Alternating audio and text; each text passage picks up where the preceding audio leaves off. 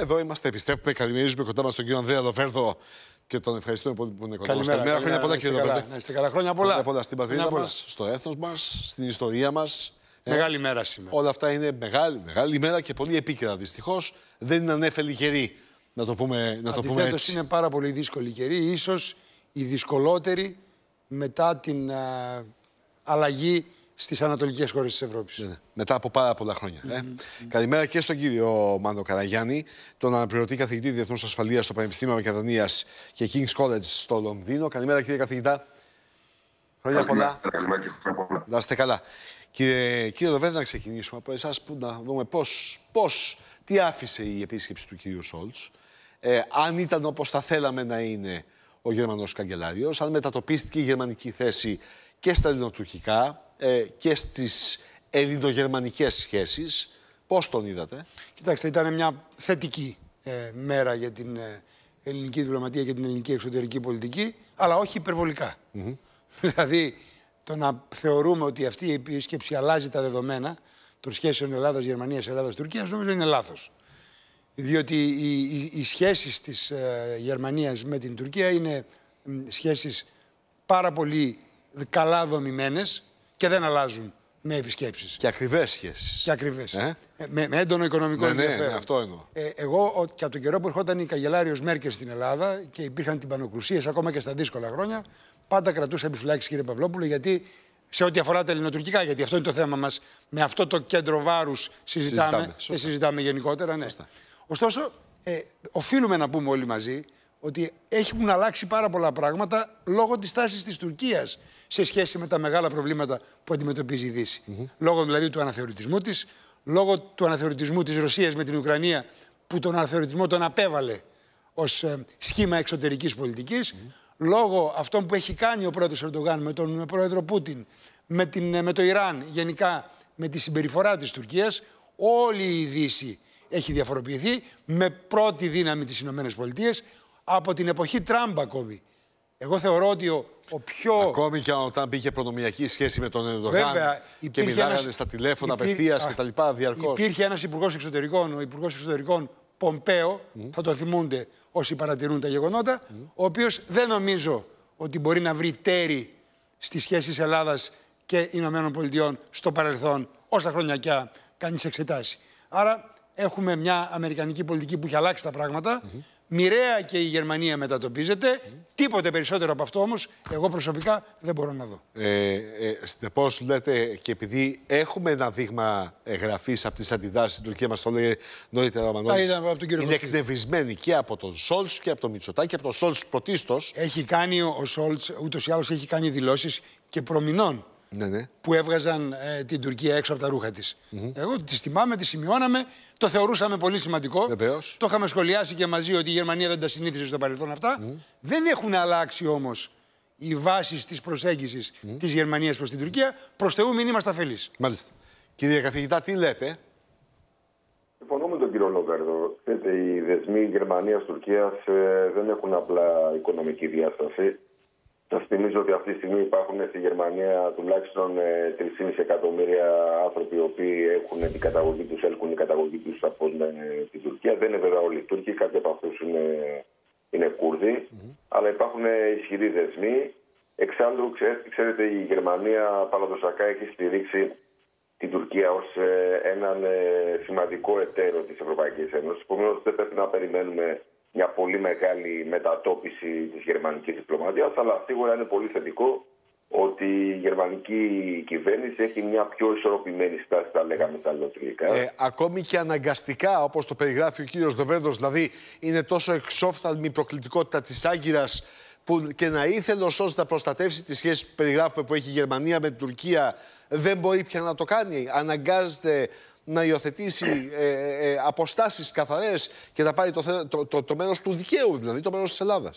Κοιτάξτε, η σχέση Γερμανία-Τουρκία δεν αφορά μόνο την Ελλάδα. Αφορά πλέον ε, και άλλα μεγαλύτερα ζητήματα όπως είναι το μέλλον της Ευρωπαϊκής Ένωσης, αφορά τη σχέση Ευρωπαϊκής Ένωση-Ρωσία. Θέλω να πω δηλαδή ότι αντιμετωπίζει πλέον ε, το Βερολίνο τη σχέση του με την Άγκυρα μέσα από το πρίσμα και διάφορων άλλων ε, ζητημάτων. Η Γερμανία καλείται να παίξει ένα ηγετικό ρόλο πλέον ε, στην ενισχυμένη Ευρώπη, στην Ευρώπη η οποία θέλει να έχει τη δικιά της ε, αμυντική πολιτική. Αυτή η Ευρώπη εξάλλου έχει αποφασίσει να διαρρήξει τη σχέση της ε, με τη Ρωσία, τουλάχιστον όσο στην εξουσία είναι το καθεστώς Πούτιν. Θέλω να πω δηλαδή ότι η Γερμανία αυτή τη στιγμή έχουν αναπτύξει μια κάπως πιο ολιστική στρατηγική και η σχέση τους λοιπόν με την Ελλάδα αντιμετωπίζεται και μέσα από αυτές τις ε, ε, νέες εξελίξεις. Δηλαδή η Ελλάδα δεν είναι απλά μια χώρα απομονωμένη του Ευρωπαϊκού Νότου, είναι μια χώρα η οποία θα παίξει αναπόφευκτα και ένα σημαντικό ρόλο στα νέα γεωπολιτικά δρόμενα της Μεσογείου. Εδώ όμως πάντα προκύπτει ένα, ένα καθαρό ερώτημα, γιατί είναι καθαρή και η απειλή από την άλλη μεριά, κύριε Ντοβέρδε.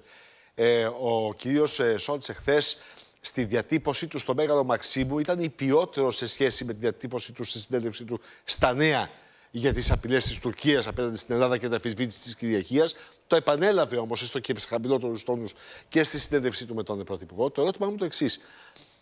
Είναι στο σημείο εκείνο η Γερμανία ε, που θα διαμηνήσει στην Άγκυρα ότι θα έχει και διμερείς κυρώσεις, διμερείς συνέπειες εάν επιμείνει να απειλεί την κυριαρχία και να αμφισβητεί το αμφισβητώ. την κυριαρχία της Το αμφισβητώ, το αμφισβητώ.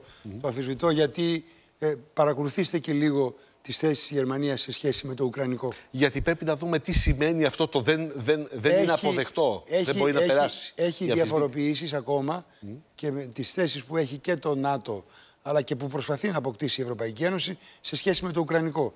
Έχει τη δική της προσέγγιση, που είναι μια προσέγγιση μεγάλης δύναμης που κοιτάει πρωτίστως τα δικά της συμφέροντα.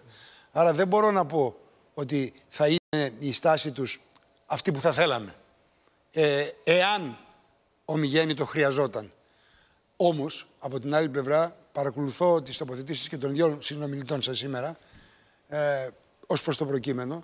Είναι τέτοια η φορά των σχέσεων της Τουρκίας πια με το δυτικό κόσμο, όπου η Ελλάδα μπορεί να κουμπάει με εμπιστοσύνη σε αυτά που ήδη έχει κάνει. Γιατί το λέω αυτό; Και μάλιστα έχω κάνει και ένα, μια ανάρτηση τελευταία, που η οποία επιδοκιμάστηκε πάρα πολύ και μου έκανε και εντύπωση. Γιατί χωρίς να υπάρχει κάτι, κάποιος να με ρώτησε, παρακολουθώντας το διάλογο στη χώρα, είπα ότι η Ελλάδα, επειδή έχει εξοπλιστεί, έχει αποκτήσει ένα πλεονέκτημα.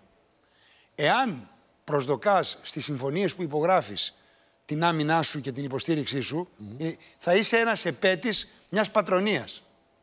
Όταν όμως και εξοπλίζεσαι και έχεις τις συμμαχίες, όπως η Γαλλογερμανική, η Γαλλοελληνική, όπως η Αμερικανοελληνική, Δηλαδή και εξοπλίζεσαι πρωτίστως. Ναι, ναι. Δηλαδή είσαι, αντιμετωπι... είσαι έτοιμος να αντιμετωπίσεις και μόνος σου. Η Αιγυπτιακή, ό,τι έχεις φτιάξει ναι, ναι. ως εξωτερική σου πολιτική, ναι. τη συμμαχία σου αυτόν τον καιρό, το Ισραήλ. Τότε μιλάς από θέση ισχύως, ναι. Τότε είσαι αποτρεπτική δύναμη. Μάλιστα.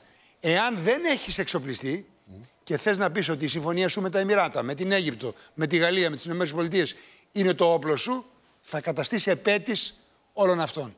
Συνεπώς θεωρώ ότι η εξωτερική πολιτική πηγαίνει με αυτή την έννοια σε ασφαλή βήματα και αυτό φοβάται η Τουρκία.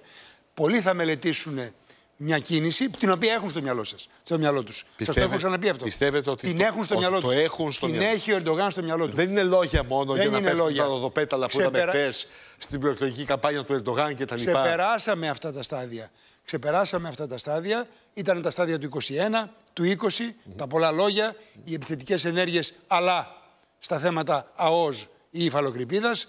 Τώρα έχουμε φτάσει σε μια προεκλογική περίοδο που μας μένουν 6-7 μήνες για αυτήν και η Τουρκία είναι πάρα πολύ επικίνδυνη. Γι' αυτό και η Ελλάδα έχει επεξεργαστεί και οφείλει να το κάνει κάθε μέρα ενδεχόμενα που δεν αφορούν θερμά επεισόδια, αλλά πολεμικά γεγονότα.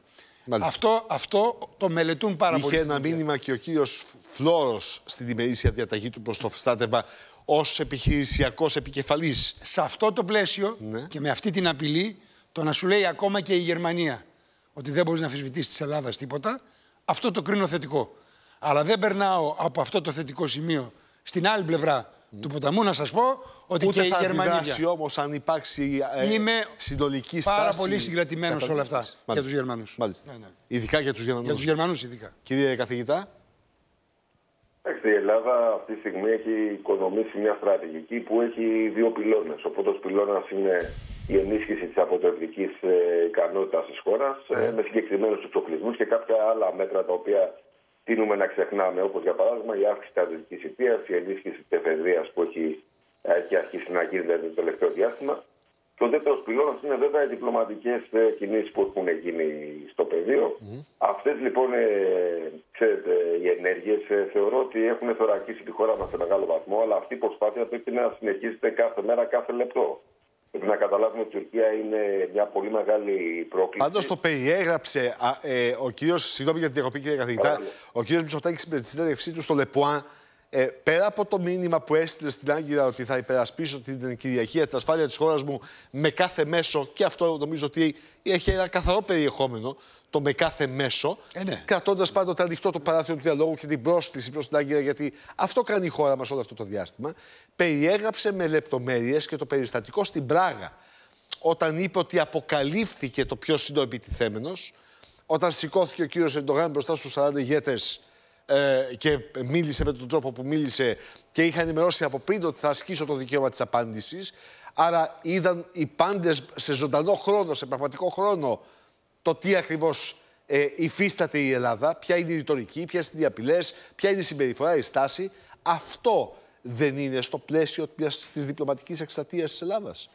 Σίγουρα και κοιτάξτε να δείτε, πρέπει να γίνεται, αν θέλετε την άποψή μου, και πιο συστηματικά. Δηλαδή δεν φτάνει μόνο μια ομιλία του Πρωθυπουργού στην Πράγα ή στο, ε, στον ΟΗΕ. Πρέπει κάθε μέρα η ελληνική δημόσια διπλωμάτια να δίνει απαντήσεις. Γιατί, για να είμαστε ειλικρινείς, ε, δεν ξυπνάει και κοιμάται ολόκληρος ο πλανήτης με τα ελληνικά. Δηλαδή, υπάρχουν πάρα πολλές κυβερνήσεις, ακόμα και μέσα στην Ευρωπαϊκή Ένωση, που δεν γνωρίζουν τις λεπτομέρειες. Έχουν την αγωνία του, του δεύτερου επεισοδίου στη γειτονιά τους όμως. Το οποίο ο κύριος ε, ε, Λοβέδος λέει ότι το έχουν στο μυαλό τους στην Άγκυρα. Δεν ξέρω αν, αν, το, αν το, το υιοθετείτε, αν το, αν το συμμερίζεστε αυτό που λέει ο κύριος Λοβέδος.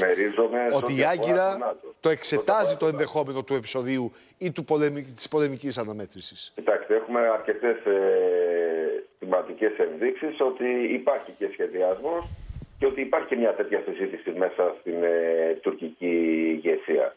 Αλλά από εκεί και πέρα, κοιτάξτε να δείτε, σε μια εποχή που τα πάντα αλλάζουν. Εγώ ε, διάβαζα χθες το Φόρμα Αφέα, ε, σας το δείχνω απλά για τη συζήτησή μας. Ναι, ναι. Είναι, είναι το, το τελευταίο τεύχος ε, του προεδρικού, δεν ξέρω αν το δείχνει καλά η κάμερα. Ε, ο τίτλος ήταν η εποχή της αβεβαιότητας. Δηλαδή μπαίνουμε σε μια νέα εποχή όπου θα, επικρο... Ε, θα επικρατεί ο αναθεωρητισμός, θα υπάρχουν πάρα πολλές εντάσεις μεταξύ των μεγάλων και των περιφερειακών δυνάμεων. Επομένως, σε μια τέτοια εποχή όπου οι σταθερές έχουν αρχίσει να, να καταραίουν, η Ελλάδα πρέπει να είναι ένα αξιόπιστο μέλος και είναι αξιόπιστο μέλος της Ευρωπαϊκής Ένωσης και του ΝΑΤΟ. Αυτό σημαίνει ότι απαραίτητα πρέπει να ταυτίζουμε τις επιλογές μας με τις επιλογές ε, των δυτικών δυνάμεων. Και από εκεί και πέρα πρέπει και εμείς να προετοιμαζόμαστε για το χειρότερο σενάριο. Το κάνουμε αυτό. Αυτό δεν υπάρχει καμία απολύτω να το κάνουμε. Αλλά γίνονται ακόμα, υπάρχουν ακόμα ξέρετε, περιθώρια ε, έτσι, για να γίνουν περισσότερες κινήσεις. Ε, για παράδειγμα, θα μπορούσε να γίνει δημιουργία ε, σύσταση του Συμβουλίου Εθνικής Ασφάλειας. Το είχαμε συζητήσει και σε κάποια άλλη εκδήλωση με τον κύριο Λοβέρδο. Ε, μπορούν να γίνουν ακόμα πράγματα τα οποία θα δώσουν την εντύπωση ότι υπάρχει και ένα αραγέ εσωτερικό μέτωπο στη χώρα. Γιατί, κοιτάξτε, είμαστε μια μικρή χώρα και δεν έχουμε την πολυτέλεια τώρα εδώ πέρα ε, να διαφωνούμε σε ένα τόσο σημαντικό θέμα όπως είναι η τουρκική εξαιρετικότητα. Ναι, σωστό. Ε, ε, έχω, ε, έχω να πω κάτι. Για να σας ζητήσω μετά ένα σχόλιο για τα Μάρτερ, για τα Α, ναι, ναι, άρματα μάχης και τη συζήτηση που έγινε ναι, ναι. από Γερμανό δημοσιογράφο. Ετέθη το θέμα στον κύριο Σόλτς. Ε, πείτε το σχόλιο, κάντε το σχόλιο. Κοιτάξτε, ε, μέσα σε αυτό το πλαίσιο τον, που έχουν εξελιχθεί οι σχέσεις μας με την Τουρκία, κοιτάμε λίγο και τα δικά τους πολιτικά πράγματα. Ναι, ναι ε, ο, ο, ο, ο κύριος Ερντογάν με αυτή τη ρητορική που κάνει, την πολεμική ρητορική, διότι προκαλεί ένα πόλεμο λέξεων, ναι, ευνοείται δημοσκοπικά. Έναντι ποιου όμως, έναντι του Κιλιτζάρογλου, έναντι του αρχηγού δηλαδή της αξιωματικής αντιπολίτευσής του.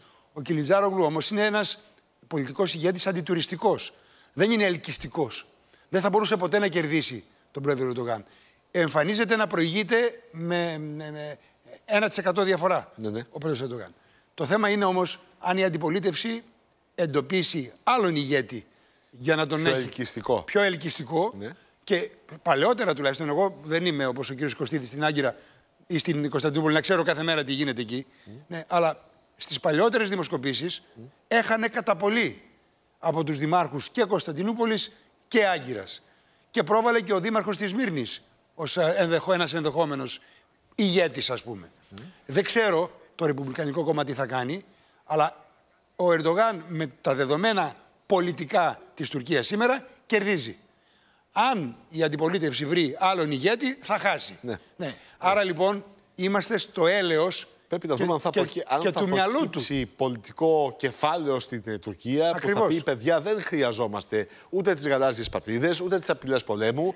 Έχουμε ένα γείτονα με τον οποίο μπορούμε να κάνουμε πολλά θα βρείτε πράγματα τέτοια μαζί. φωνή, όχι, όχι, όχι. Δυστυχώς δεν υπάρχει τέτοιο παιδί. Τέτοια φωνή δεν θα βρείτε. Τέτοια φωνή στην Τέτοια Τουρκία δεν θα σημαντική βρείτε. δεν Θα υπάρχει. βρείτε όμως φωνές Ναι. που θα επιχειρήσουν, αυτό δεν ξέρω κατά πόσο συμφέρει την Ελλάδα, να αποκαταστήσουν τις σχέσεις τους με τη Δύση.